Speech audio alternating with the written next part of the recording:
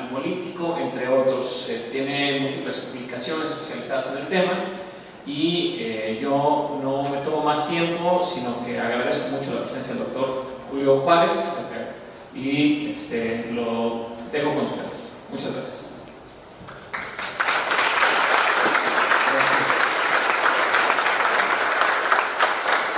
Gracias, doctor eh, muy buenos días a todas y a todos estaba tratando ahorita de elucidar si me voy a quedar de pie o si me voy a sentar, pero me voy a sentir de raro si me siento aquí en medio, es como una silla de castigo. Este, pero generalmente como sucede en mis clases, pues yo me suelto, como me voy al monte cuando doy clase, entonces tampoco me voy hasta allá ni hasta acá. Eh, trataré de hacer una mezcla de los dos. Eh, déjenme empezar a hacer comenzar con esto que creo que es importante contextualizar. Eh, me considero una persona, un académico muy afortunado por tener la oportunidad hoy eh, de poder haberle puesto pausa a mi carrera académica y haberme trasladado a este mundo, eh, a este eh, mundo tan complejo, tan acelerado como es la vida electoral, la vida en el Instituto Nacional Electoral, y aprovechar con mi granito de arena y contribuir lo que sucede allá y lo que sucede también en la academia. Entonces esto eh, lo pongo solamente en el, contexto de que les habla un académico que tiene hoy una función, una responsabilidad de Estado como funcionario público, como servidor público, pero que por supuesto eh, pues tiene, digamos, estructurado su, su, manera de pensar, su manera de observar el mundo desde una visión más academicista. Entonces ahí intenta uno sobre todo en temas que tienen que ver concretamente con la cuestión comunicativa, con los medios de comunicación, con las estrategias de comunicación, que es un tema no menor en el proceso electoral que hoy estamos viviendo. Eh, ustedes saben bien, digo, ya todo el mundo se dio cuenta que estamos en un proceso electoral, eh, que las campañas eh, en este mundo fantasmagórico de la ley electoral, de la pre-campaña, la intercampaña y la campaña, bueno, pues la buena noticia es que la campaña ya empieza el próximo Viernes Santo, y ahí eh, tendremos 90 días muy intensos en donde van a desplegarse, digamos ahora sí, formalmente todas eh, las estrategias eh, y los actos y las actividades propias de una campaña. Seguramente ustedes estarán preguntando, bueno, pero pues eso empezó desde septiembre del año pasado. Alguien me dirá, no, eso lleva dos años, alguien me dirá, pues eso ya no tiene un ciclo de principio y fin. Es vivimos, como muchos otros teóricos lo han llamado, en lo que hoy se conoce como la campaña permanente. Es decir, políticos que están haciendo campaña eh, antes de la elección, después de la elección y durante su gestión en el gobierno para luego otra vez reiniciar este ciclo electoral. Por supuesto que eso es debatible, está ahí y sin embargo, sin embargo, la legislación electoral eh, en esto que a los mexicanos nos gusta mucho hacer, eh, pues ha ido creciendo y ha ido creciendo en sus artículos, y ha ido creciendo en sus párrafos y en sus incisos y hoy tenemos una ley electoral probablemente una de las leyes la Ley General de Instituciones y Procedimientos Electorales eh, más voluminosas, eh, seguramente de la región y muy probablemente del mundo. Es decir, hemos llevado a la letra blanco y negro, no solo las disposiciones constitucionales, sino las disposiciones reglamentarias, infinidad de detalles eh, que hoy saturan, por supuesto, y que parecen irrelevantes o que se están quedando disociados totalmente lo que uno está viendo como ciudadano, muchos colegas quienes estimo y aprecio, eh, que saben que estoy yo en este rol, eh, me dicen, oye, es que ¿por qué el INE está haciendo esto? ¿Qué no se están dando cuenta? ¿Dónde quedó el sentido común de las instituciones públicas en México?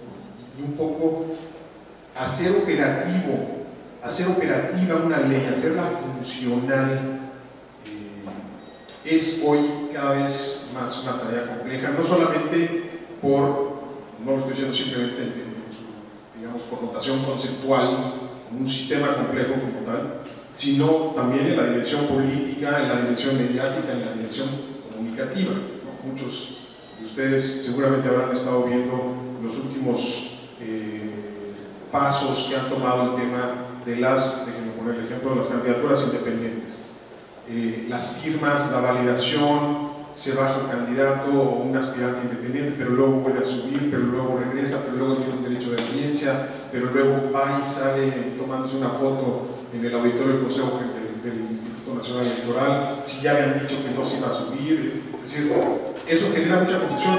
Y hoy lo que hemos logrado hacer, eso sí se lo puedo yo firmar aquí ante notario, lo que hemos logrado hacer con esta legislación electoral es confundir al votante, es confundir a la ciudadanía, es confundir incluso aquellos que redactaron la propia ley, que son los partidos políticos.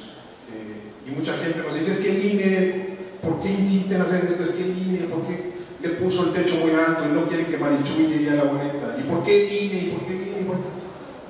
Cuando muchas veces, por supuesto, eh, no estoy aquí para venir a, ser refractario a la crítica y a los comentarios, de eso se trata, este foro es privilegiado para un servidor, términos de, tener esa retroalimentación, pero sí entender una cosa que muchas veces se olvida en la discusión, y es la legislación electoral la pactaron y la votaron los partidos políticos representados en el Congreso de la Unión, en las dos cámaras del Congreso de la Unión, y son los primeros en quejarse de esas disposiciones. Se pueden o no se pueden hacer debates en periodo de intercampaña, es decir, intenten traducir eso al alemán y explicárselo a la autoridad alemana intenten llevar ese mensaje de debates de intercampaña en donde no se puede llamar explícitamente al voto, porque esa fue la lectura que hizo el tribunal y con la cual yo coincido. Eh, intenten explicar eso en latitudes, ya no digamos eh, tan disímulas como el caso europeo, el caso estadounidense, canadiense, en la región. Nuestros propios colegas latinoamericanos ven la legislación mexicana la legislación y, quedan tan confundidos eh, con, temas que hoy, en los cuales, déjenme decirlo sin asomo de, de presunción, eh, el Instituto Nacional Electoral es punta de lanza en temas tecnológicos y de innovación en toda la región y en muchas partes del mundo. El sistema de fiscalización, por ejemplo, eh, el sistema de monitoreo de radio y televisión, el sistema de pautado de los spots, cosas que han costado no solamente mucho trabajo en la parte técnica, en el diseño y el desarrollo de todos estos sistemas, somos de las pocas autoridades en el mundo que monitoreamos 24 horas del día los más de 2.300 concesionarios de radio y televisión a nivel nacional y almacenamos todo para verificar que los spots de los partidos en radio y televisión hayan salido y que no haya de más ni haya de menos y no haya spots de otros actores interesados en participar en la contienda. Eh, pero esa complejidad no solamente ha sido un reto humano, un reto técnico, un reto logístico, sino ha costado también un desgaste institucional. El INE hoy es una institución muy desgastada por el costo político que ha tenido que pagar por implementar todas y cada una de estas medidas. Voto de mexicanos en el extranjero, credencialización. Eh, y, y, vamos a ahora fiscalización, el tema independientes, tema del app, eh, y vamos poniendo temas en la mesa y parecería que eh, todas estas nuevas disposiciones eh, que muchas de ellas, déjenme decirlo con toda franqueza, han sido más ocurrencia en las mesas de negociación de las reformas electorales, porque nos encanta hacer reformas electorales que van a resolver todos los problemas que pasan en nuestra democracia cada vez que termina este ciclo electoral. Y muy probablemente, no tengo que ser adivino, seguramente estos ustedes ya lo están viendo venir también, terminando este proceso electoral, muy probablemente vamos a tener una nueva reforma electoral que va a intentar corregir todos los males que aquejan a nuestro país en algo que ya dejó de ser un problema. Hoy en México lo electoral ya no es el problema. El problema es lo que pasa alrededor de las elecciones. Los males o los problemas endémicos, transversales e históricos que hoy siguen aquejando. La pobreza extrema, la desigualdad social, y coacción del voto, delitos electorales, la gente que hoy todavía sigue pensando que su voto vale una canasta, un postal o una preventa momentánea y efímera. Perdón, eso no lo vamos a corregir con una ley electoral ni con una autoridad electoral con mayores facultades o atribuciones. Ni lo va a corregir la FEPADE y mucho menos lo va a corregir el tribunal. Eh, dicho esto, eh, lo que voy a tratar de hacer ahora es sí presentarles algunos números de la elección. O sea, quiero ir como en tres partes, nada más para tratar de, de, ordenar, porque traigo muchos datos, traigo mucha información. Eh, uno, un mensaje que quiero dejar muy claro y es la magnitud de la elección.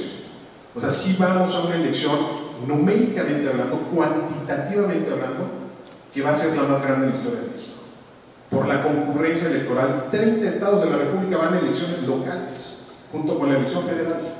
Solamente dos estados, Baja California Sur y Nayarit, no van a tener elecciones locales. Todos los demás estados van a tener elecciones locales concurrentes con la federal. Es el primer punto. Las elecciones más cuantiosas por el número de casillas, por el número de gente que va a votar, por el número de funcionarios que ya se tienen que capacitar. La dimensión del volumen es amplísima. Dos, eh, algo que nosotros en el INE hemos definido como esa cadena de confianza. ¿Y qué es la cadena de confianza? Todas esas cosas de las cuales ustedes y yo, sobre todo quienes llevamos ya varios años votando, eh, estamos perfectamente acostumbrados, incluso ya se nos olvidó por qué están ahí cosas que parecerían antiquísimas como la tinta indeleble. ¿Por qué empezó la tinta indeleble en el dedo gordo? ¿Cuál es el propósito hoy todavía de tener esa tinta indeleble en el dedo, que no es tinta, de hecho es una fórmula que diseñó el Politécnico Nacional, que lo que hace es quemar una, una capa de nuestra partícula en el dedo y que hace que, por supuesto, eso no, es que se pueda borrar, no está pintado, es un ácido que te quema y por supuesto, marca ¿no? de una manera indolora, no incolora, porque eso apenas horrible 30 meses, pero que intenta prevenir una cosa que es esencial, que es que la gente no vote dos veces. Eso es parte de la cadena de confianza. Y como esos procesos, me voy a pedir ellos de manera telegráfica para no ir y abundar, eh, no es tanto definir el proceso, lo que quiero es contextualizar de dónde vienen todos esos pequeños eslabones de confianza, papel seguridad en las boletas electorales. ¿Saben el costo que tiene imprimir boletas electorales? En papel seguridad, en una fábrica además, es la única en el país que lo hace en Chihuahua, en donde desde hace tres meses se echó a andar la producción de todo el papel que va a ser utilizado para las boletas que luego va a imprimir talleres gráficos en México con todos los controles de seguridad. Es papel moneda. Y es un papel que se utiliza un día y que luego lo vas a tirar. No lo vas a tirar un día inmediatamente, ¿no?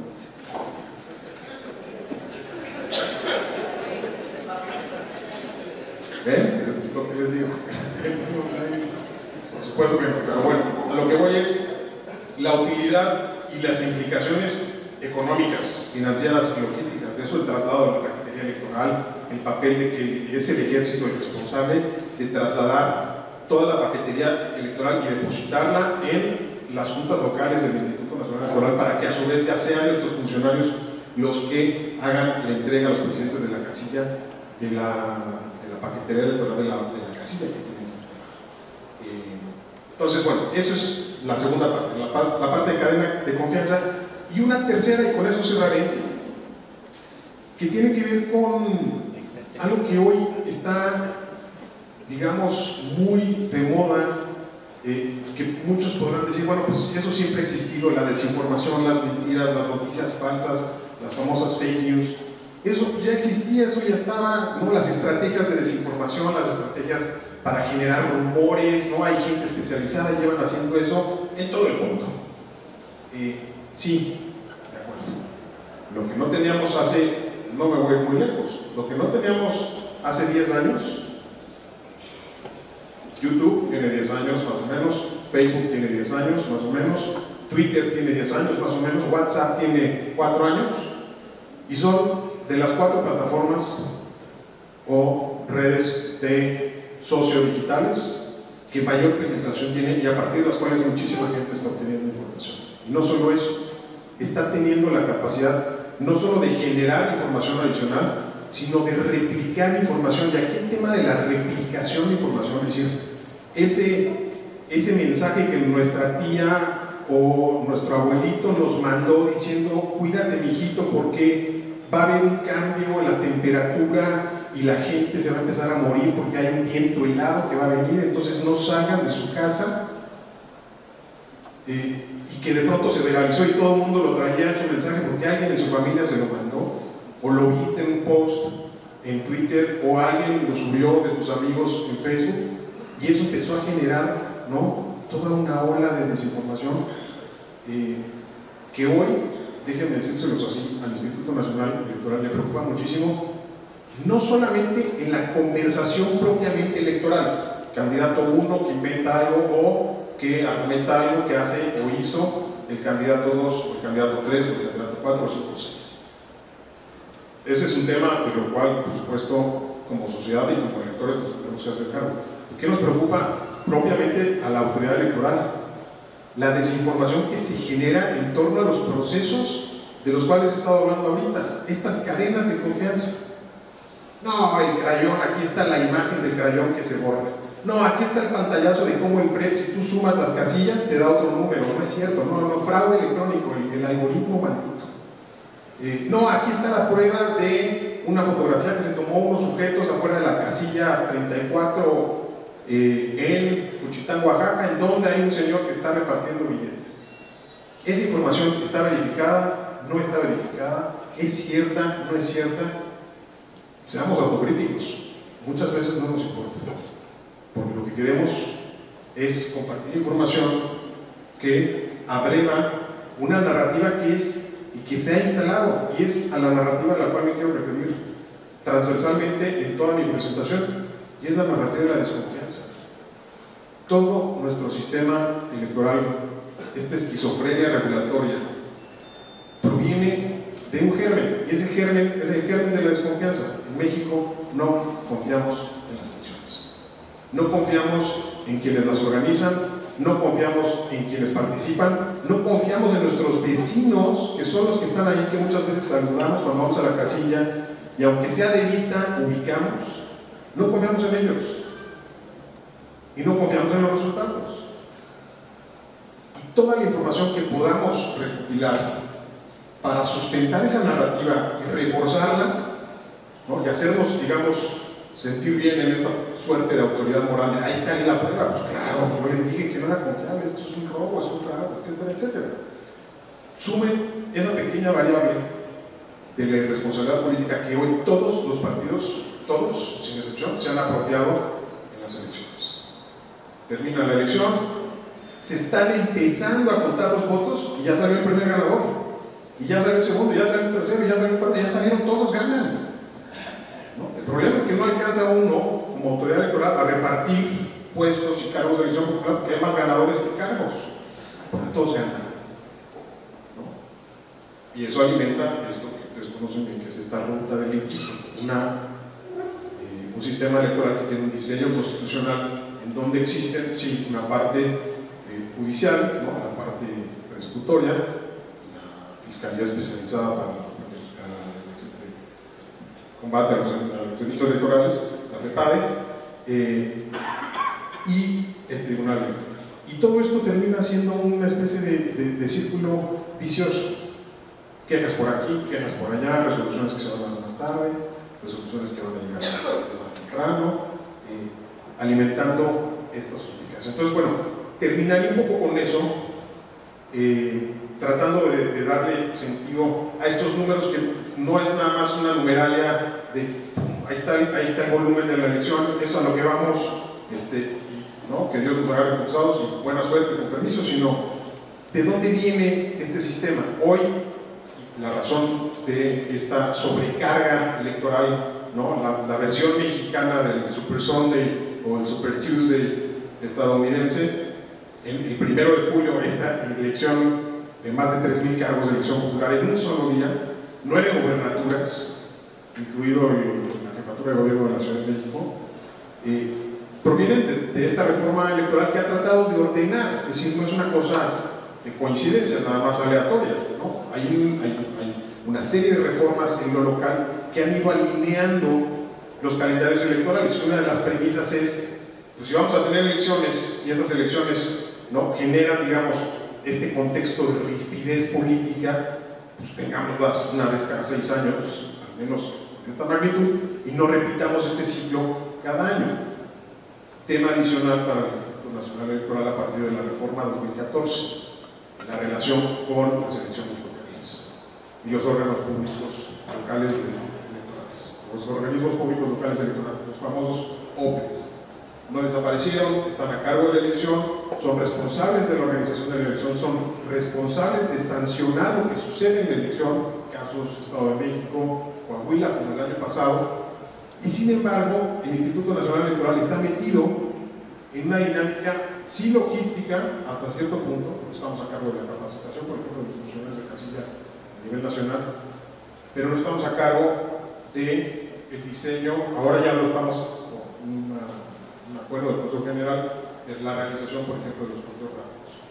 Eh, pero lo que quiero decir es que este ciclo electoral de tres años, hoy para el Instituto es un ciclo anual, todos los años hay elecciones, y no importa si tuviste 17 elecciones, como en 2016, o 2017, perdón, 2016, o si tuviste cuatro elecciones, como el, el año pasado, 2017, o si vas a tener 30 elecciones la federal como va a ser la vida institucional literalmente no para.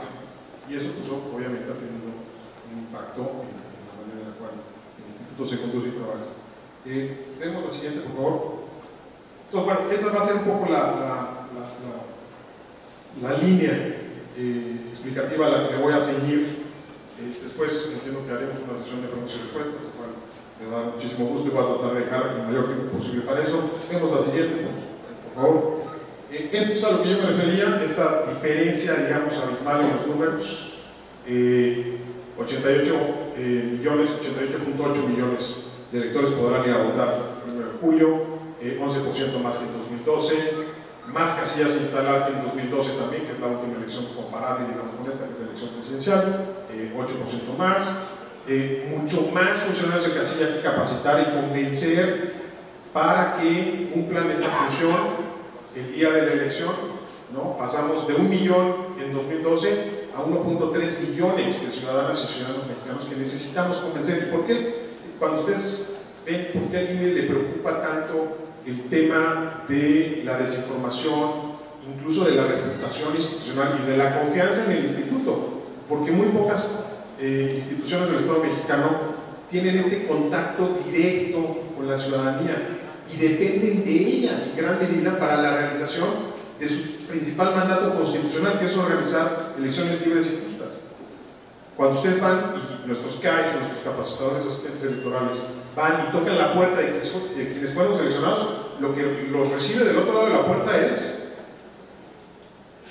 la molestia, la desafección democrática, el incumplimiento de las promesas de los partidos, el malestar que existe hoy en México, en todo el país, con la política y con todo lo que huela a política.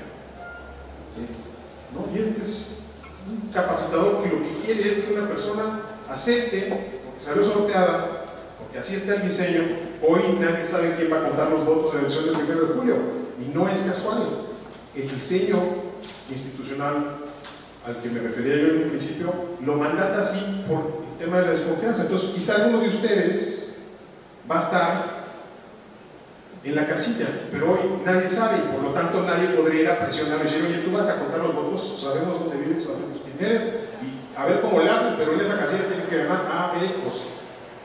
Esa es la premisa que está detrás, digamos, en una visión o versión extrema de por qué hoy no se sabe y por qué ese, concurso tiene que ser aleatorio por qué para llegar a ese 1.3 ese, ese 1.3 millones de mexicanos tenemos que buscar primero a 11 millones que salen de esta primera insaculación y de esos 11 millones vas a seleccionar a 1.3 millones.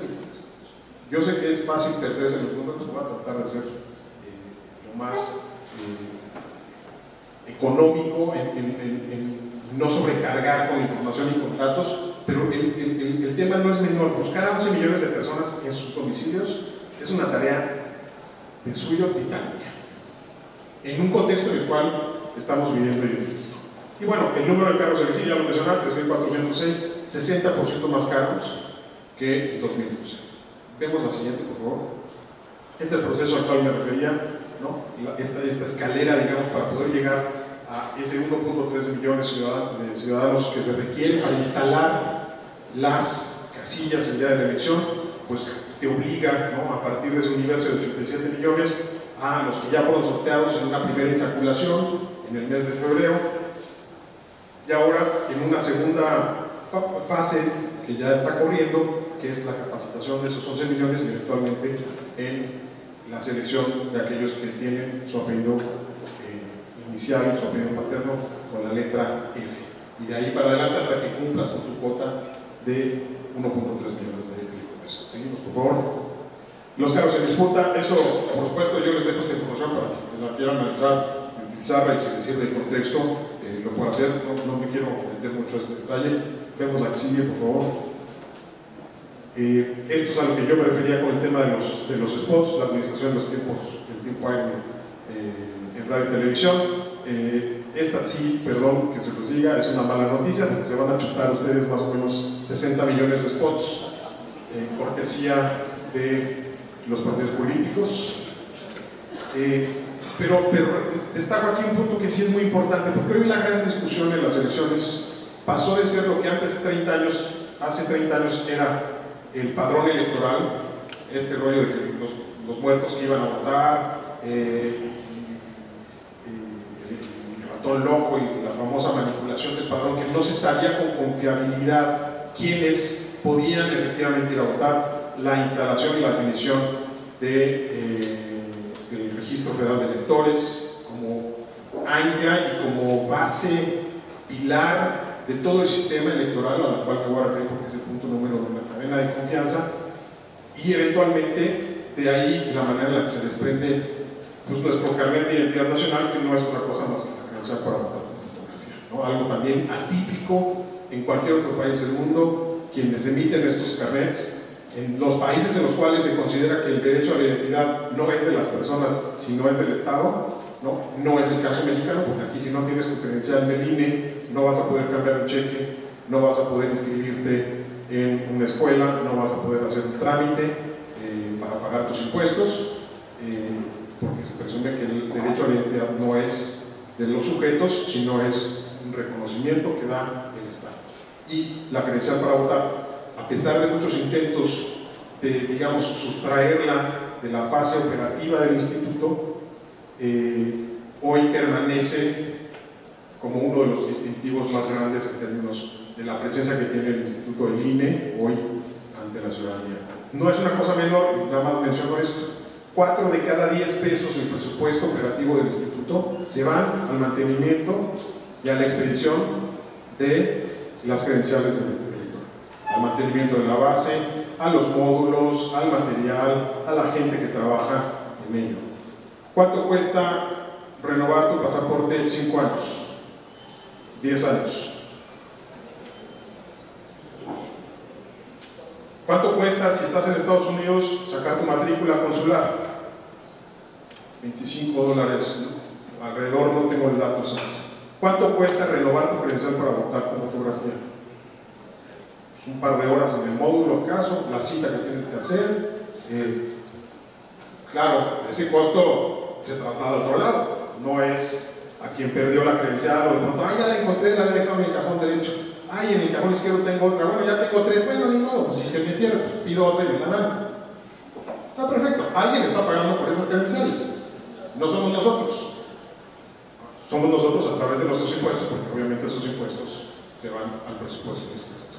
Eh, en una palabra, otro de los costos políticos que paga el instituto pues es también, por supuesto, la visibilidad que tiene el presupuesto que cada año tiene que ir a pedir a la federación para poder, entre otras cosas, pues implementar este tipo de procedimientos. Vemos la que sigue, por favor. Eh, una cosa así muy, muy rápida, muy telegráfica. Eh, a pesar de todo, hoy en México tenemos, viendo los números, un sistema altamente competitivo.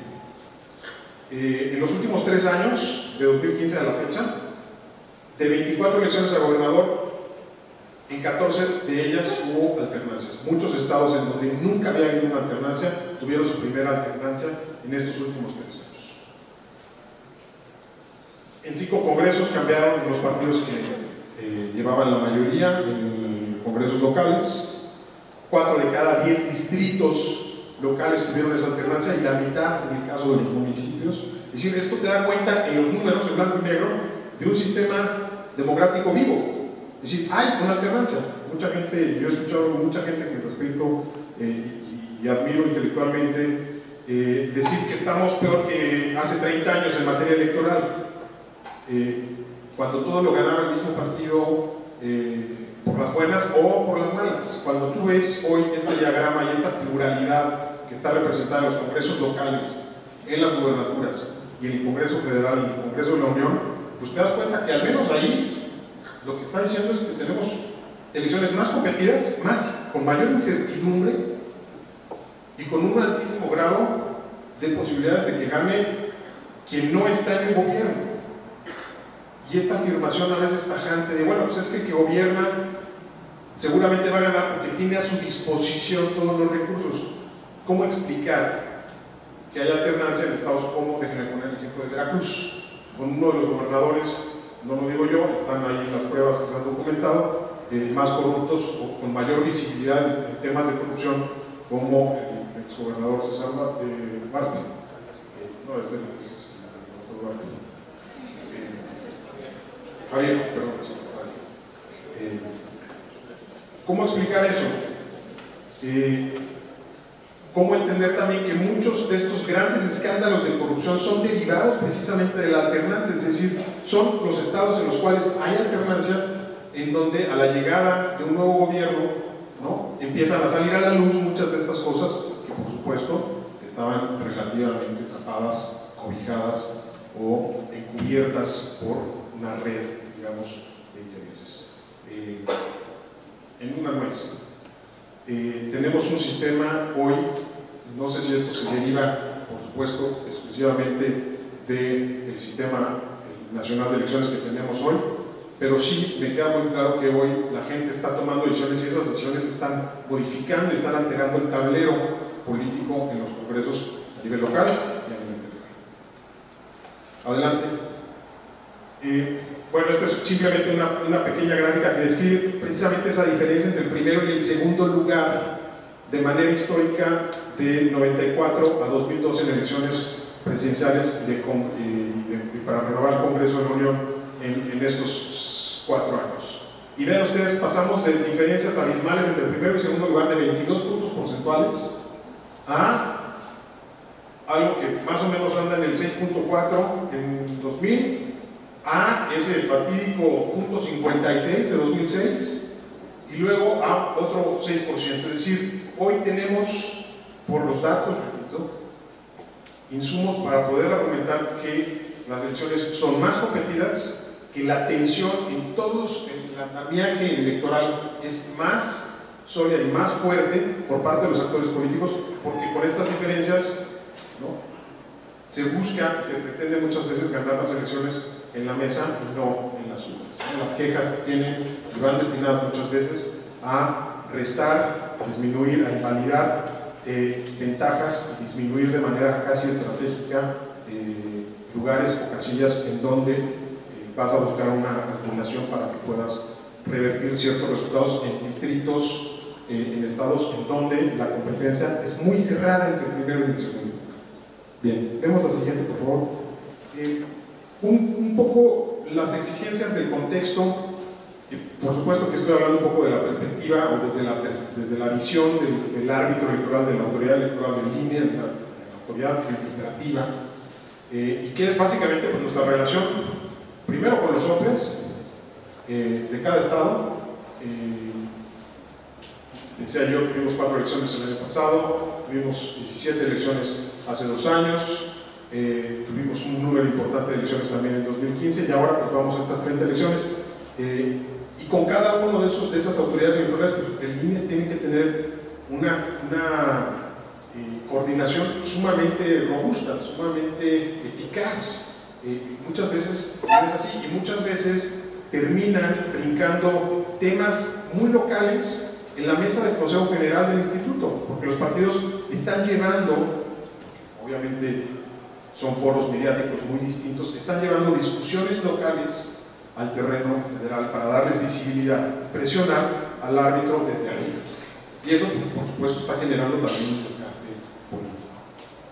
Nuestra relación con el propio Tribunal Electoral, la relación con las fiscalías especializadas, no el caso de la FEPADE, eh, con las instituciones encargadas de seguridad pública y nacional, pregunta recurrente en cada foro al que asiste un consejero electoral o un consejero presidente, ¿no? ¿qué va a hacer el INE para garantizar que no haya actos de violencia el día de la jornada electoral?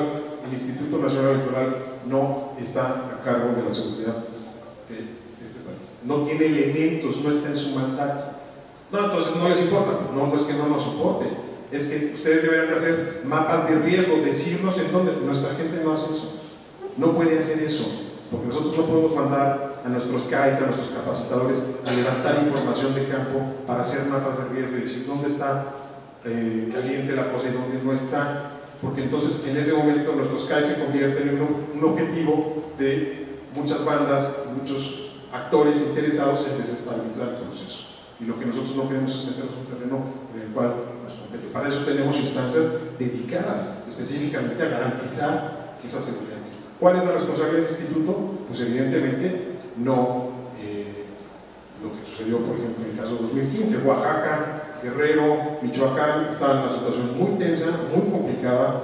Eh, existía el riesgo de que en Oaxaca no se pudieran instalar un número determinado de casillas porque eh, había sitios tomados juntas y oficinas del instituto tomadas por la CENTE.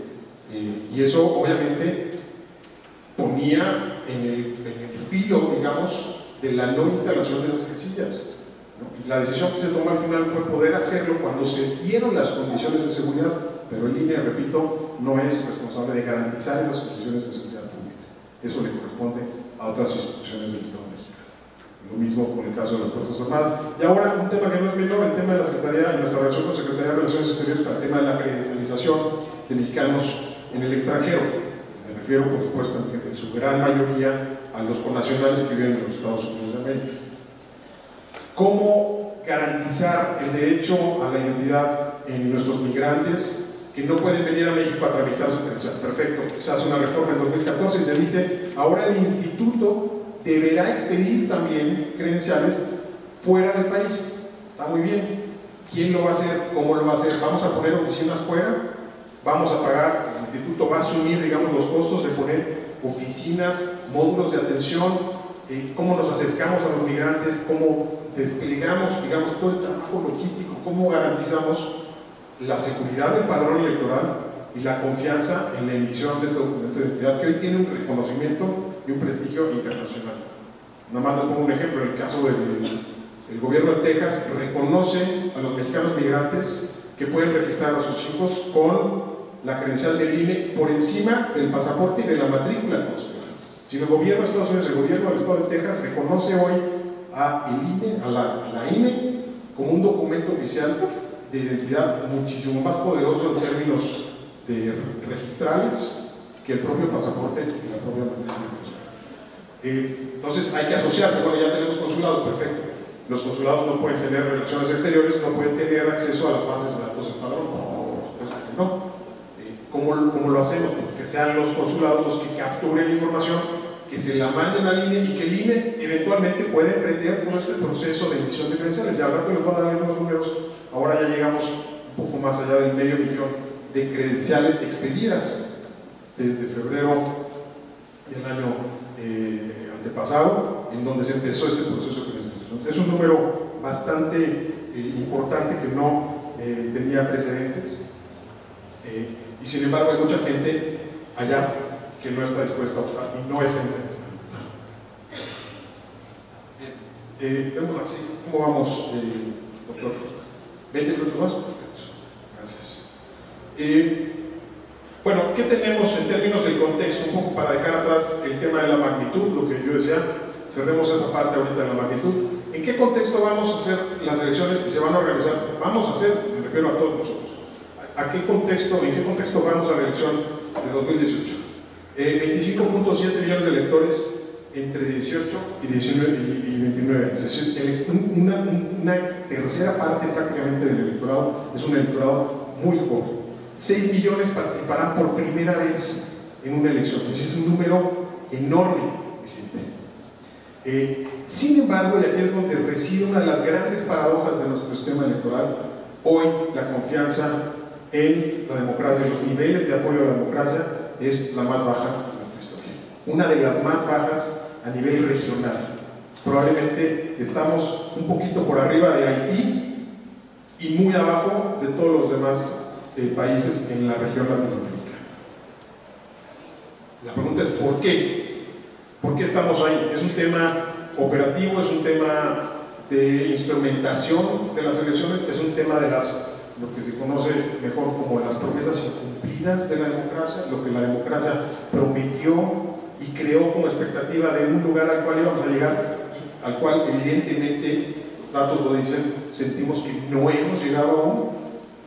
¿En dónde reside? Por supuesto, se trata de una pregunta con una complejidad teórica y conceptual altísima, pero, pero la pregunta está ahí y operativamente eso genera también ese desgaste, porque es ese 38% de desafección con la democracia, con el de desapego democrático con el cual nosotros tenemos que lidiar al momento de convocar a la ciudadanía a aceptar jugar este rol o este papel en este concierto, digamos, Vemos la que sigue, por favor. Esta simplemente es una gráfica que va diagramando lo que ha sucedido.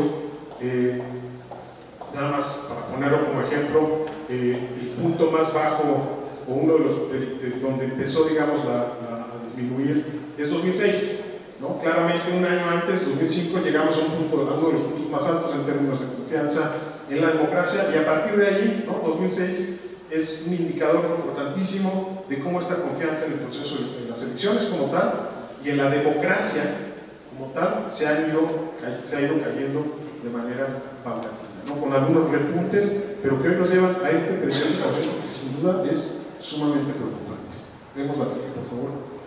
Eh, bien, esto es a lo que yo me refería, la, esta cadena de confianza. Me voy a ir aquí muy rápido, ¿no? esto es la parte del padrón electoral, por supuesto, que tiene todos estos componentes, que es uno de los padrones más seguros, eh, 65% es de caratilar, ya la gente seguramente quien ha sacado una credencial o ha renovado su credencial recientemente, pues ya tuvo que poner sus 10 huellas digitales. Es la base más grande de Latinoamérica, sin una de las bases más grandes de datos en términos de la complejidad de la información que está perdida en esa base de datos.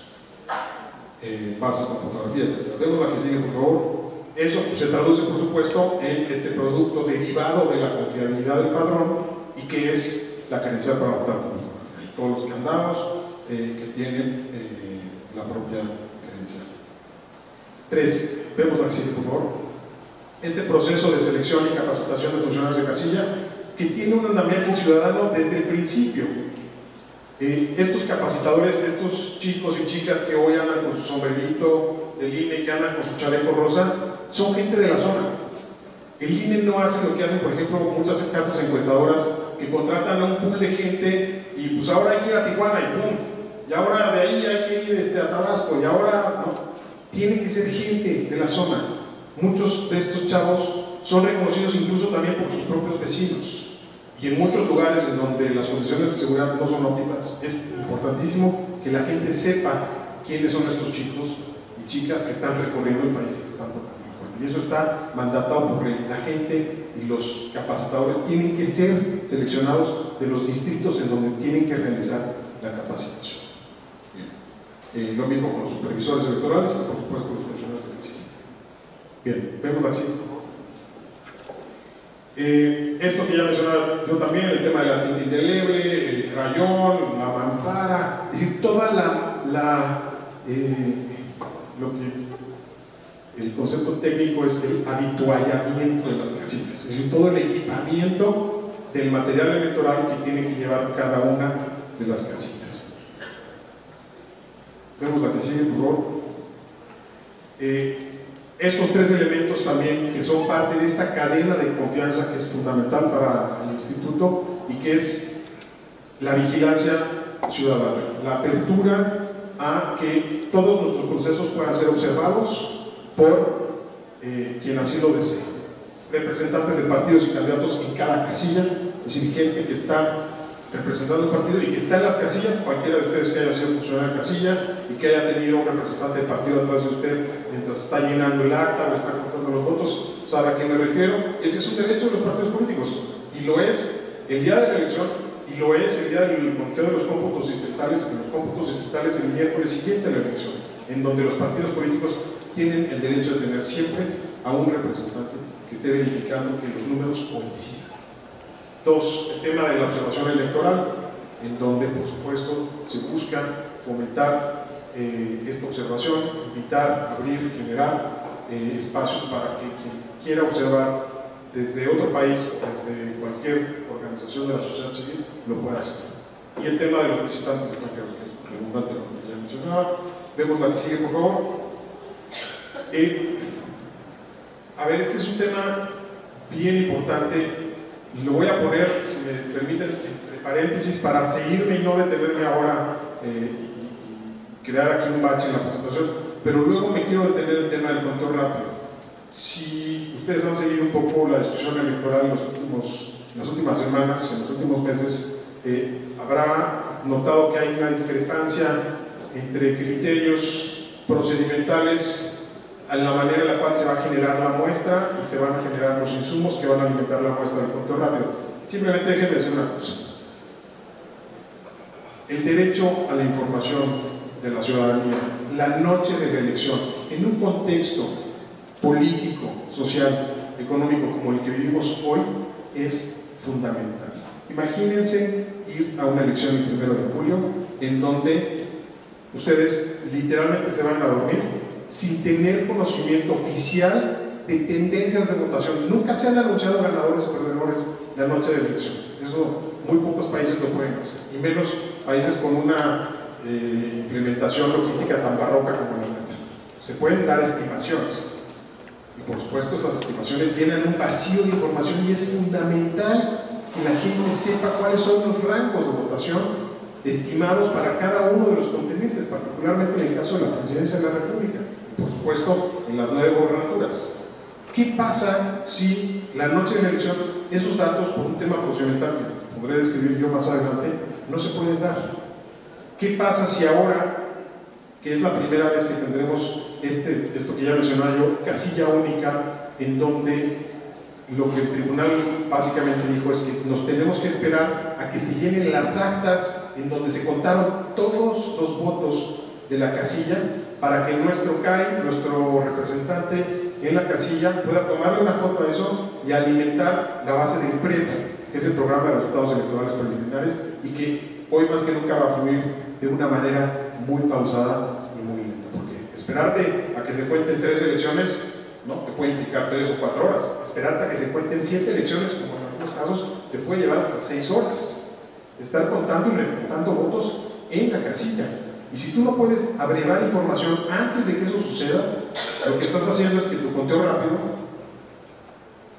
sea un conteo lento. Y lo que estás generando es una ventana en un contexto en el cual, como está perfectamente bien documentado, con la enorme irresponsabilidad política que, caracteriza a nuestra clase política, todo el mundo va a salir a declararse ganador a, minutos de que cierren las casillas en la elección del primero de julio. ¿Qué pasa si la autoridad electoral no sale no, no es capaz de dar y de presentar la información del control? que el INE quiso hacer es, contemos primero la elección del presidente, que nuestro CAI alimente la base de datos vía telefónica, como está marcado en la ley, y que esa base de datos se vaya alimentando en, aquellas casillas que fueron seleccionadas como parte de la muestra, de cuyo conocimiento únicamente pueden saber los miembros del comité técnico del de que están reunidos en un salón en el INE que no tiene acceso a red, que no tiene salidas telefónicas, que no tiene nada más que eh, ahora sí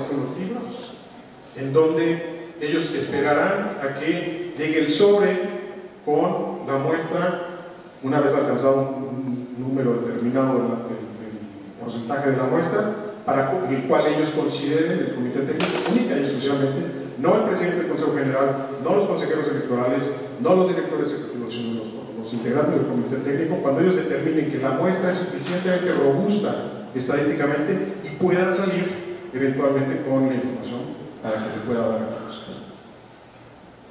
Si eso no sucede en la noche, vamos a un escenario muy complicado. Se los, adelante, no quiero ser eh, agorero del desastre, pero, pero va a ser muy difícil cerrar la jornada electoral del primero de julio sin tener resultados. Eh, y lo que el tribunal le pidió al instituto es, termina de contar. Si vas a hacerlo a partir de las actas, te tienes que esperar a que termines de contar. Y lo que vamos a hacer ahora, lo que el INE propuso hacer, que fue impugnado ya por un partido político, pero que aprobó en el Consejo General, es vamos a utilizar una hoja de operaciones, mejor conocida como cuadernillo, que está contemplada en la ley y que es parte también de la paquetería electoral perfectamente descrita y definida. Y es básicamente el documento a partir del cual se llena el acta de escrutinio y cómputo. Y es tal cual una pequeña acta previa en donde se van ajustando todos los votos que se van contando y las combinaciones de voto por cada una de las coaliciones. Ahora tenemos las coaliciones, tendremos tres, cuatro, cinco, dos, una, dos o tres candidaturas independientes, no lo sé todavía, es por definirse, y eventualmente podremos eh, hacer primero el corte expedito de Presidencia de la República a partir del cuadernillo y eso va a ir alimentando la base de datos con la cual el Comité Técnico el Rápido podrá salir y decir aquí están los resultados, anúnciese el tema presidencial, las tendencias presidenciales y eventualmente todos los demás sistemas empezarán a fluir un poco eh, más tarde. Me refiero básicamente al PRE. Eh, y bueno, por supuesto los puntos distritales que son ya la corroboración de las actas con la paquetería electoral. Y es en donde se da el mayor número de recuentos de que sigue siendo un tema recurrente en los conjuntos distritales. básicamente eh, eh, los tres digamos, mecanismos de conteo, los dos primeros preliminares y el tercero es básicamente el conteo oficial, el cómputo distrital. Bien, la que sigue, por favor. Este tema es fundamental también, no me quiero detener más para que no se termine el tiempo, pero es el tema de la fiscalización. Eh, ya lo había yo referido, este también es un mandato ¿no? del Instituto o para el Instituto Nacional Electoral a partir de la reforma de 2014. Como verán ustedes en los últimos años, las elecciones más discutidas han sido y han terminado siendo eh, discusiones en torno a los recursos que los partidos eh, y otros entes están destinando a las campañas electorales. Y ese es hoy el gran tema del cual yo hacía diferencia, hace 30 años era el padrón electoral y la confianza en el padrón electoral, hoy es la fiscalización. ¿Dónde está el dinero? ¿De dónde fluye? ¿Cómo fluye? Y hoy el instituto está más pensando en diseñar estos modelos de riesgo para poder detectar la manera en la cual el dinero va fluyendo y poder instrumentar mecanismos que permitan reconocer esos flujos de dinero y eventualmente sancionar de acuerdo con ello. ¿no? ha habido partido político que se haya escapado una sanción en materia de fiscalización desde que se implementó la reforma en 2014 a la fecha y por supuesto vamos a una elección en donde ese va a ser uno de los temas cruciales. Bien, eh, la que sigue por favor. Los plazos, por supuesto, establecidos en la ley para generar todos los informes de fiscalización son plazos fatales, fatales en términos de vencimiento que está a la vuelta de la esquina. Ver, nada más les traigo esto. En 40 días se tiene que hacer toda la fiscalización de las campañas federales. En 40 días, a diferencia de lo que sucedía anteriormente con 158 días. Es decir, un ejército de personas van a estar dedicadas a corroborar facturas, a contrastar, a ver informes, a hacer y a, y a compulsar los monitoreos que se hacen, por ejemplo, de espectaculares. Si hoy, ahora que empiezan las campañas, alguien ve un espectacular de un partido político que no tiene un código QR, porque hoy por ley lo tiene que tener, porque nuestros verificadores están literalmente seleccionando y haciendo una verificación de todos estos espectaculares con los códigos QR para vaciarlos en una base de datos, saber de qué partidos son, de qué campañas son, eh, qué costo tuvieron y si está o no está reportado por el partido político. Eh, eso ya va, a incluir una falta administrativa, porque el partido lo que está haciendo es contratar un espectacular que no está reportando a la autoridad. Y eso ha sido motivo de muchas sanciones en el pasado. En fin, es, un calendario muy apretado, muy intenso y por supuesto eh, que tiene una fecha de terminación muy, muy puntual. Bien, y por último el tema de la seguridad informática, vemos aquí que es básicamente la protección de todos los sistemas del instituto. Eh, a prueba de injerencias eh, externas, extrañas, hoy, para bien o para mal, nuestras elecciones y nuestro cómputo de votos sigue siendo análogo, es decir, el voto en papel, si bien genera toda esta complejidad de la cual estaba hablando, también genera una certeza que los votos al final del día se cuentan con las manos lo cuentan primero los ciudadanos, nuestros vecinos en las casillas y luego en el cómputo distrital y es algo que está ahí, se ve, eh, a diferencia de otros sistemas que tienen sistemas de conteo electrónico, por ejemplo el voto electrónico, en donde estos votos literalmente no se ven. Eh, no estoy diciendo que uno sea mejor que el otro, después de conocer y de ver la complejidad que tiene hoy la operación electoral con lo que mencionaba yo al principio, el papel seguridad, el transporte de las boletas, el foliado de los paquetes electorales, en cada casilla tiene un talonario de boletas que está foliado para esa casilla. Y si ese paquete por algún problema logístico llega a otra casilla, no se puede utilizar en esa casilla, se tiene que regresar a la casilla en la cual fue originalmente o para la que fue producido específicamente de acuerdo con el número de folio. Entonces, no es, se acaban las boletas, ve a la esquina, sácale copias, no, para que pueda seguir votando la gente. Eh, este límite de 750 ciudadanos por casilla eh, obliga, por supuesto, una distribución muy, muy concreta y muy específica y muy rigurosa de boletas electorales. Vemos la que sigue, por favor. Eh, esto nada más les muestro la gráfica que decía, la que sigue, por favor. Que es más o menos cómo ha ido evolucionando la solicitud de credenciales para votar en el exterior. Hoy eh, bueno, el corte a febrero era 593 mil credenciales expedidas, eh, 460 mil entregadas a los ciudadanos. Como ustedes saben, las credenciales no se hacen en el extranjero, se hacen en los talleres que están autorizados para hacerlas acá en México. Entonces, lo que tenemos y necesitamos es la dirección del domicilio de nuestros connacionales en el extranjero para que a vuelta de correo se les puede enviar a ellos esa credencial para votar y eventualmente ellos tendrán que activar esas credenciales. Vean la diferencia, ahí hay una primera gran diferencia entre el número de credenciales solicitadas, el número de credenciales que eventualmente son recibidas en los domicilios. Eh, aquí hay, por supuesto, un tema migrante muy interesante porque muchos connacionales dan una dirección, pero sus domicilios son muy cambiantes. Y si tú diste una dirección porque vivías en un condado en Los Ángeles pero te tuviste que mover por X o Y o Z razones, sobre todo como está la cosa ahorita en Estados Unidos, pues la credencial te va a llegar a la dirección que diste, no sabe a dónde te fuiste tú. Y si no la recibes tú, ese sobre regresa a México. Eh, y ese, digamos, explica la discrepancia entre el primero y el segundo dato. El, la, la, la, discrepancia entre el segundo y el tercer dato, entre estos 460 mil y estos 169 mil, es la voluntad de la gente activar su credencial es decir, ya me llegó, llamo un número o me meto a una página de internet y activo mi credencial. ¿Qué quiere decir que tu credencial está activada? Que cuando tú vienes a México y vas a hacer un trámite con tu credencial, esa credencial está reconocida ya en el padrón una credencial válida. Eso no significa que te vayan a llegar las boletas, porque para eso te tienes que inscribir en el listado nominal para votantes residentes en el extranjero.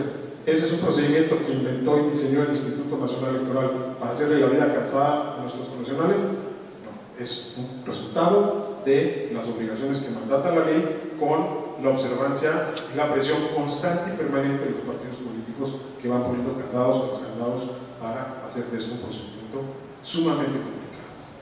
A la fecha, hoy, lo que sí tenemos son 83 mil solicitudes confirmadas de gente que está en el extranjero a la cual se le va a enviar una boleta. Es decir, va a haber 83.361 hasta la fecha de hoy, eh, boletas enviadas por vía postal a estos nacionales para que puedan votar y en un sobre con porte pagado puedan meter sus boletas y regresarse. Las boletas no se cuentan en los consulados, las boletas no llegan a los consulados, no van a haber casillas en los consulados, este es un, tema de comunicación y que muchas veces pasa también por estos filtros de desinformación, de dónde van a estar las casillas, el INE no va a poner casillas en Texas, ni en Dallas, ni en Chicago, porque no tiene las facultades legales para hacerlo, porque además no tiene el mandato y la capacidad operativa para hacerlo, pero sí va a recibir esos votos y esos votos los va a contar en una casilla especial para la recepción de estos votos en donde va a haber representantes de todos los partidos políticos. No nos van a llegar a los funcionarios del instituto un montón de sobres, bueno, pues ábrenos, cuéntalos y pásales el dato a los... Se va a instalar una casilla especial en donde esos sobres se van a abrir y se van a contar con la observancia, la vigilancia de los representantes de todos los partidos eh, este número es alto, es bajo. Eh, alguien podrá decir, bueno, pues hay 10 millones de mexicanos en Estados Unidos, pues esto es un fracaso rotundo. Eh, yo creo que eso es muy discutible. Déjenme ponerlos, eso sí, en perspectiva histórica. Ustedes son científicos sociales, saben bien que si uno quiere hacer una evaluación, pues tiene que ir muchas veces a la evidencia empírica. 83 mil para este año versus, tuvimos, vemos la que sigue por favor en los hombres recibidos eh, y en los votos válidos que tuvimos en las elecciones de 2006 y 2012. Eh, básicamente de 2012 es el doble, 40.000 votos válidos en la elección de 2012 recibidos eh, de voto de mexicanos en el extranjero versus 40.000, perdón, versus 32.621 votos que se obtuvieron en la elección de 2006, la primera vez que se implementó el voto de mexicanos en el extranjero y ahora por lo pronto tenemos ya una base de 83 mil, es el doble.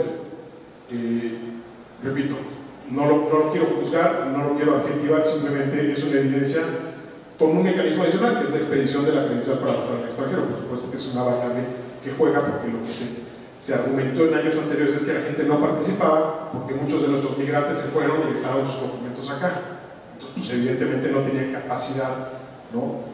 ya no digamos de rescatar esos documentos, sino de solicitarse y darse de alta. ¿Quién se va a acordar de su credencial de elector eh, estando fuera? ¿no? Y si no tiene la credencial. Entonces, bueno, ahí hay un impacto, eh, se puede mejorar, no se puede mejorar, eh, tendrían que estar interesados los migrantes en votar y participar en México, no tendrían que hacerlo, yo creo que eso da para varias tesis de doctorado, pero me queda muy claro que hay una evidencia ahí que nos da cuenta de una tendencia que a, ojos de lo que ha estado sucediendo puede ser una tendencia positiva. Bien, eh, termino con esto. Eh, vemos la siguiente, por favor. Eh, es simplemente recapitular un poco de lo que he estado hablando, ¿no? Fundamental esta premisa a partir de la cual nace todo el sistema electoral mexicano, la desconfianza. Somos un sistema electoral, vivimos en un país en el cual lo electoral está cortado por la desconfianza, por la manipulación, por el fraude, por la mentira, por el robo. Eh, dos, esta conceptualización que creo que nos debemos también como mexicanos entender o de reconocer que hoy el problema electoral no es, diría yo, uno de nuestros principales problemas. Hemos resuelto muchas cosas que en otros países con mayores niveles de aceptación democrática ni siquiera se han puesto o han empezado a discutir. El caso de la fiscalización, por ejemplo, en Chile, lo acaban de discutir apenas hace dos años. Se empezaron a dar cuenta que había mucho dinero en las campañas y que nadie lo estaba fiscalizando. Nosotros llevamos años hablando de eso, nosotros me refiero al Congreso, los partidos, los actores políticos, y lo han transmitido y lo han eh, trasladado a la legislación electoral, y sin embargo nuestros niveles de aceptación democrática son mucho más bajos que otros países.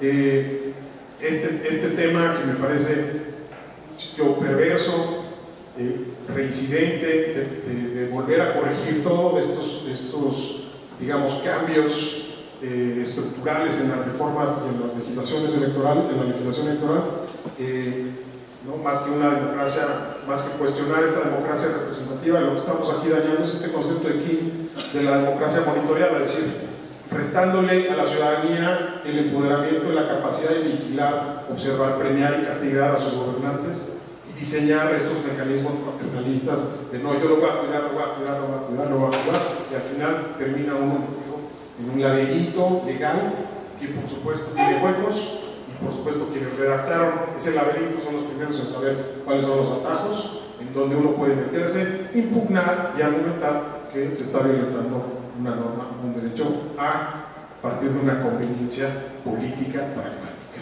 Y eso está generando, por supuesto, un desgaste institucional y también ciudadano. Eh, y por último, este tema de, la desinformación y la viralización de narrativas. Eh, lo vemos cada año, lo estamos viendo ahora.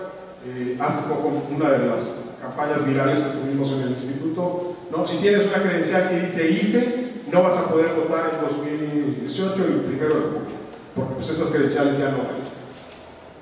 ¿De dónde salió eso? ¿A quién le conviene que eso sea así? Por supuesto que si tu credencial es válida, no importa si le expidió el IFE o el INE, si tu credencial en la vigencia es, está vigente, puedes, por supuesto, ir a ejercer ese derecho que estás inscrito en el registro federal de electores.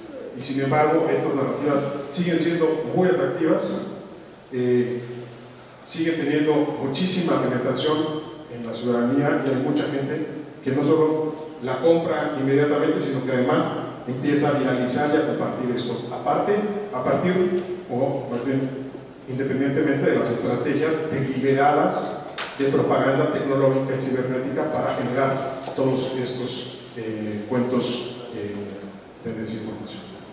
Y la última, pues es más una cosa enigmática que yo no terminé de redactar. Eh, que es básicamente cómo procesamos información como editores, que tiene que ver más con una cuestión mía personal académica, más vinculada con la psicología política, y es ese procesamiento de información es selectivo. Los seres humanos cognitivamente estamos preconfigurados alimentar y a fortalecer nuestras propias percepciones y tendemos a desechar aquello que contradice nuestras propias, nuestros propios valores, nuestro sistema de valores y tenemos preferencia por aquella información que valida lo que nosotros ya pensamos. ¿no? Y básicamente eso es lo que muchas veces configura nuestra red de información. Leemos los periódicos que dicen lo que nos gusta, leemos los posts o seguimos a la gente en Twitter que dice las cosas que nosotros compartimos y nos odia y detestamos a aquellos que contradicen lo que nosotros pensamos o consideramos, eh, sobre todo en tiempos eh, electorales. Y eso es una polarización que yo creo que ya hoy todos hemos sido testigos en distintos espacios familias, en nuestra casa, con nuestros amigos. Hoy sí empezamos a vivir ese proceso eh, cíclico, pero me parece cada vez más intenso en México de polarización eh, política, en donde eh, esta rispidez empieza a ser del tema electoral, del tema de las campañas, el tema de por quién vas a votar, un tema nuevamente incómodo, preocupante y, por supuesto, disruptivo en nuestra convivencia y ahí lo dejo y les agradezco muchísimo la atención.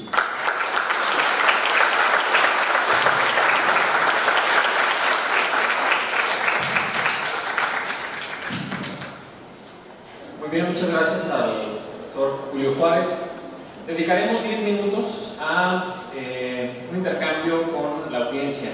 Este, tomaremos un número limitado de preguntas este, para no interrumpir el flujo del horario del Congreso le damos la palabra aquí al, señor. Vamos a ver, este, tomaré, tomaré varias. ¿Tienen micrófono que nos puedan ayudar a distribuir entre el público, por favor?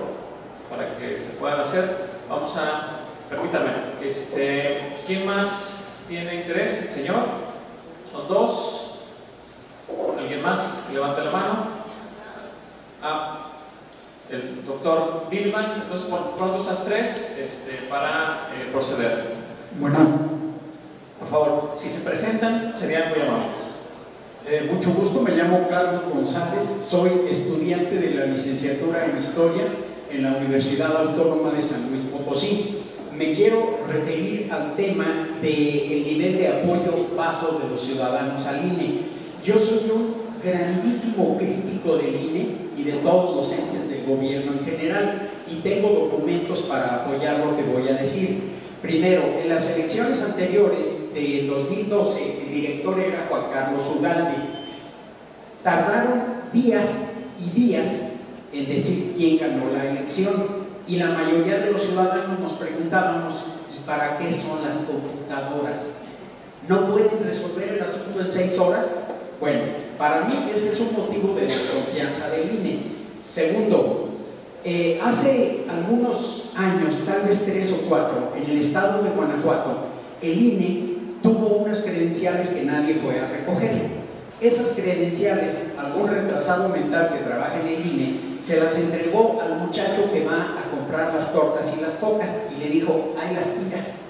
Y este hombre, según sus pocas luces, vio una mina abandonada y fue y aventó las credenciales. Y luego aparecieron, y se hizo el escándalo, aparecieron unas credenciales de INE sin usar en una mina. Y luego ya se descubrió porque aparecieron ahí. Y yo dije, espero que al director del INE en Guanajuato primero le quiten el puesto y luego lo metan a la cárcel por estúpido. ¿A quién se le ocurre darle unas credenciales útiles a un muchacho que apenas, pues apenas sabía hablar, ¿verdad? No pasó nada, el INE lo protegió, no le hicieron nada a ese sujeto y lamento mucho que el INE proteja a gente así. Tercer punto, nada más son cuatro, no me voy a extender más. El INE eh, anduvo en las elecciones. en las elecciones anteriores para gobernador de San Luis Potosí contrató muchachos de los que ustedes llaman CAES. Los contrató y no les pagó. Y entonces ellos tuvieron que hacer cerrar la avenida Damián Carmona para exigirle al INE que les pagara. ¿Cómo voy a confiar yo en un instituto que hace esas tres cosas que acabo de decir? Y la última, el actual director del INE el año pasado se burló groseramente de un indígena mexicano que le enseñó algo de los rituales de esa etnia indígena en nuestro país. Y al director del INE no le hicieron nada, sigue trabajando, sigue cobrando y sigue ganando dinero con nuestros impuestos a pesar de que es un majadero que le faltó al respeto a los antiguos mexicanos, a las etnias mexicanas. Entonces yo por mi parte creo que el INE es de lo peor que ha producido este país y acabo de decir por qué. Es todo, gracias. Muy bien, vamos a pasar la...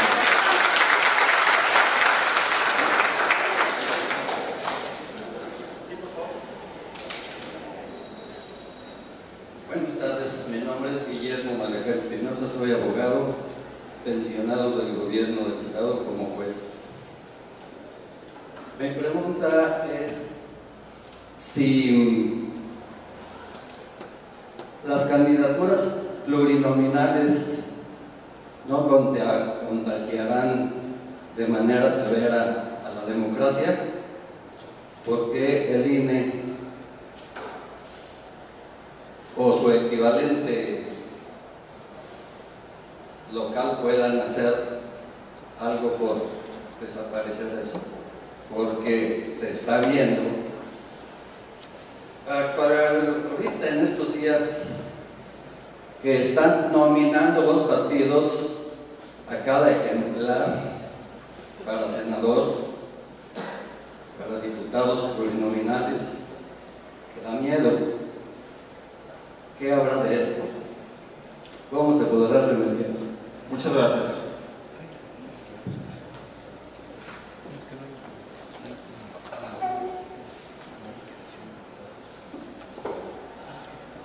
Yo Soler del Colegio de México yo he venido estudiando estos problemas desde los 90, así que no soy, completamente ignorante de los temas, pero yo para empezar quería agradecer el espacio y el esfuerzo por comunicar la complejidad del proceso electoral. Y me preocupa en particular el tema de la legitimidad de las elecciones. Yo creo que planteaste muy bien que hay, una, hay un desfase muy paradójico, fuerte entre la calidad del trabajo técnico que hace el INE y la percepción que la ciudadanía tiene de ese, de ese trabajo. Y lo que es paradójico también es que los niveles de desconfianza se concentran en los sectores más informados con, con mayor formación. En realidad la desconfianza es mayor entre las élites eh, que dentro de la ciudadanía en general. Creo que se acaba un poco de, de manifestar esa paradoja. Mi pregunta tiene que ver con qué, pudiéramos hacer desde la academia, desde las ciencias sociales, para reducir ese, esa brecha que hay entre la percepción que hay de, de, los procesos electorales y la calidad técnica impresionante de los procesos electorales que sí se ha logrado. Y tú como académico también, que has estado dentro de la academia, ¿qué pudiéramos hacer en términos de investigación, de producción, de cooperación para informar de una forma más eficiente y para captar mejor este espacio que hay entre, entre la calidad técnica procedimental de los procesos y la percepción que pues sí, estamos según cifras del Latinobarómetro, ahora sí por debajo de Honduras en términos de percepción, solo por encima de Haití. Y en términos de calidad procedimental estamos por encima de Suiza y por encima, muy por encima de los Estados Unidos de América, pero como que ni siquiera en espacios académicos, o sea, hay, que prácticamente ser experto electoral para, para, darse cuenta de la calidad de los procesos. ¿Qué podemos hacer para reducir esta brecha? Le doy la palabra al doctor Juárez. Gracias, Alejandro.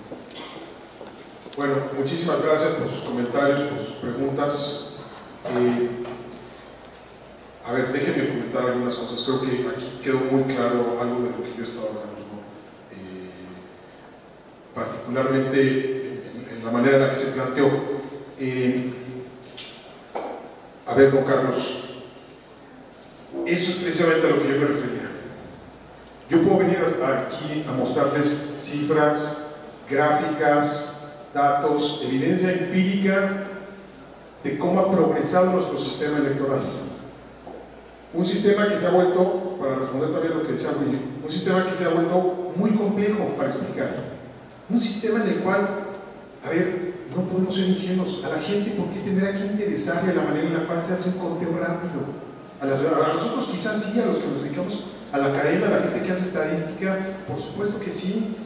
En muchos otros países este nivel de complejidad no se explica porque a la gente el tema electoral, la sofisticación del sistema electoral, realmente no es parte de su área de interés. No sé si tendría que ser así, te lo digo con toda franqueza. No sé si todo el mundo tendría que hacer un postdoctorado en organización electoral o una maestría, o una licenciatura, o un diplomado, o un curso, o una clase. No lo sé.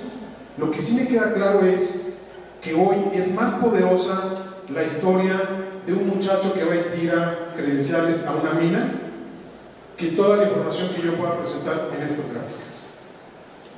Es decir, la recepción incluso del auditorio, ese tipo de historias, tiene, conlleva y concatena este malestar con lo público. El INE es un pretexto, es, es, es, es un fusible. Entendámoslo así. El problema no es el INE, el problema es la concepción que los mexicanos y las mexicanas tenemos de nuestro propio sistema y de nuestra propia democracia. Ese es el problema de fondo. No son los funcionarios electorales. Y yo, si usted está molesto con un funcionario porque dijo una cosa en una grabación que era personal y siente que usted tiene autoridad moral para regañar a alguien en sus conversaciones privadas, está en todo el derecho. Yo se lo voy a decir con toda franqueza. ¿eh? Yo no pondría a disposición del público las conversaciones personales privadas que tengo, porque muchos de ustedes dirían que soy una persona así o. Y yo no sé cuántos de ustedes aquí pueden levantar la mano y decir, a mí sí, y que no nos vayan a juzgar y no nos vayan a descontextualizar. Ese no es el problema. Y de veras, se lo digo con todo respeto, don Carlos. Si vamos a personalizar los males de nuestra democracia y los funcionarios públicos ocupan los cargos, estamos cometiendo ese error, porque estamos distrayéndonos de los temas sustantivos. No le escuché decir nada acerca de los partidos políticos, ni de los candidatos. No, pero usted dirigió, usted dirigió a sus villanos y me puso aquí a sus villanos. Y sus villanos me queda claro que no son los partidos, ni los candidatos, ni los gobernadores, ni los. No, son los funcionarios electorales. Está bien, yo lo respeto, pero no nos confundamos, porque son dos cosas distintas. Y se lo digo, de veras, con todo respeto, pero como dicen en mi tierra, de frente. Entonces, si usted cree que tiene esa autoridad moral para regañar a alguien por lo que en una conversación privada en la cual se violaron sus derechos, está en todo derecho. Yo no me siento con esa autoridad moral, ¿eh? y no ando juzgando gente por un video que escuché, una filtración telefónica que escuché. que estaba perfectamente destinada a desacreditar a la autoridad electoral a un mes del proceso electoral. La magnitud de eso. ¿Qué pasó con esa filtración? ¿Sabe que esa filtración se presentó una queja ante la PGR? ¿Sabe qué pasó con esa filtración? En términos procedimentales de la investigación de la PGR, ¿sabe qué ha pasado con esa investigación? Absolutamente nada. Absolutamente nada. Entonces tampoco este, toda la justicia es para los privilegiados, para los cargos públicos, para la mafia el poder. Esa investigación terminó como lamentablemente terminan muchas investigaciones, en la nada, porque esa impunidad está ahí presente, expresa. Eh, don Guillermo, lo que entendí es un poco que hay un problema, digamos, de representatividad con los, diputados eh, y los, senadores plurinominales. Eso, por supuesto, es parte de un diseño eh, constitucional en México. Creamos un sistema representativo en donde concebimos que la mejor manera de garantizar esta pluralidad era a través, precisamente, de la generación de escaños que permitieran a las fuerzas políticas minoritarias tener una representación. Hay quien ha dicho, pues es que los plurinominales valen menos que los diputados de mayoría relativa y por lo tanto los senadores de mayoría relativa, quitémoslos de las listas. Eso va a hacer más efectivo el Congreso, va a hacer que la rendición de cuentas en las cámaras, tanto locales como en las federales, sea mayor. Yo, la verdad, no estoy seguro, pero me queda claro que es una apreciación y que, una vez más, es un síntoma que demuestra esta molestia que tenemos con nuestros representantes populares. Esa representatividad hoy está por los sueños. ¿Quién me puede decir hoy aquí, con toda franqueza, que se siente representado en sus intereses, en sus diputados locales, federales o en sus senadores estatales? Francamente, somos, seríamos muy poquitos los que podríamos decir, no, ese senador a mí me representa. Es más, ni siquiera sabemos quiénes son. ¿De quién es la culpa? ¿De ellos enteramente? También es parte nuestra esta disociación entre una ciudadanía que va, participa, vota, termina la elección, ¿no? y que el país cambie solito. ¿no? Y ahí que otros lo arreglen, lo quieren, lo, tienen que llevar. Este, ya yo les aplaudiré, no les aplaudiré. No lo sé, o sea, lo pongo simplemente en la mesa porque me parece que es algo que tenemos que reflexionar y que sin duda es una decisión que está ahí, que tiene que ver con cómo adelgazamos el Congreso y cómo utilizamos las finanzas públicas de manera más eficiente. Tenemos congresos poco eficientes, poco, eficaces, opacos, que gastan mucho y que no nos dicen cómo y por qué se están gastando lo que se están gastando y no estamos viendo sus resultados. Entonces, ese malestar está ahí. Eh, yo creo que lo tenemos que reconducir. Termino con esto. Las elecciones no son un punto de riesgo, son una oportunidad. Vamos a una muy compleja el 1 de julio, pero el 2 de julio, ustedes y yo, vamos a hacer nuestra vida. Vamos a ir a trabajar, vamos a ir a, los hijos van a ir a la escuela, los chamacos no van a estar en clases, pero después regresarán a la escuela, la gente, la vida va a seguir. México no, no va a renacer no va a morir el primero.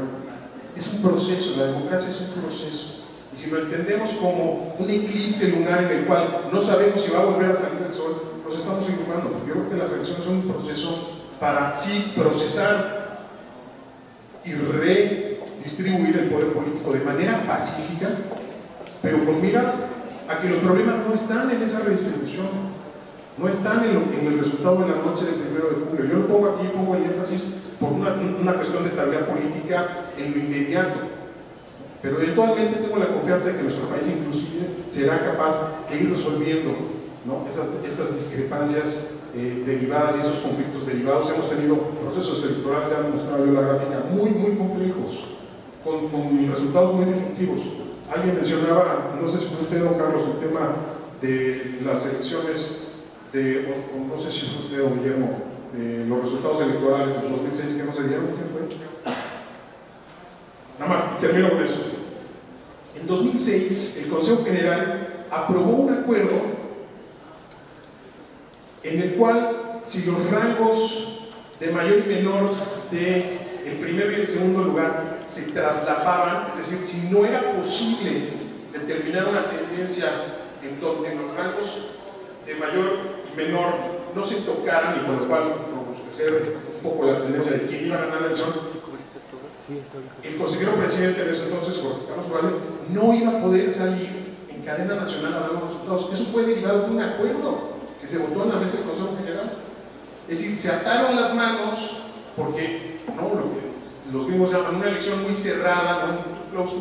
no iban a poder salir a dar la información. Yo creo que fue un error gravísimo, porque yo creo que esa información se tuvo que haber dado, y se dejó un vacío especulativo para decir, bueno, ¿quién ganó? ¿Quién perdió? Pues no lo sé. La autoridad debió haber, debió haber explicado que cuando un rango inferior se topa con el rango superior del segundo lugar, puede haber un traslape y eventualmente, estadísticamente es posible. Es difícil, pero es posible que ese resultado se revierte, que el primero pase a segundo y que el segundo pase a primero, que fue lo que terminó sucediendo. Pero como esa información no se y todo el mundo nos quedamos con este famoso pececito del PREP de 2006, en donde un candidato que va hasta abajo y uno que va hasta arriba, se empezaron a mover, a mover, a mover y se terminaron cruzando en el último momento esa pequeña colita de que es este punto 56 al que yo me refería. Entonces ese punto 56 marcó la debacle, la confianza del sistema electoral y nos regresó años en lo poco que se había logrado. Entonces, son decisiones políticas, administrativas que se tomaron, que tuvieron consecuencias. No quiero atribuirle, por supuesto, a los Carlos, y me tengo reconocimiento de aprecio. No quiero atribuirle a él en lo particular, no, no, voy a caer en el error de personalizar de nuestra sociedad, pero sí creo que de haberse hecho de otra manera y haberse comunicado, quizá hubiéramos tenido un resultado post-electoral y un conflicto post-electoral distinto. No lo puedo garantizar, por supuesto, y creo que ninguno de los está aquí puede ser. Bueno, les agradezco muchísimo.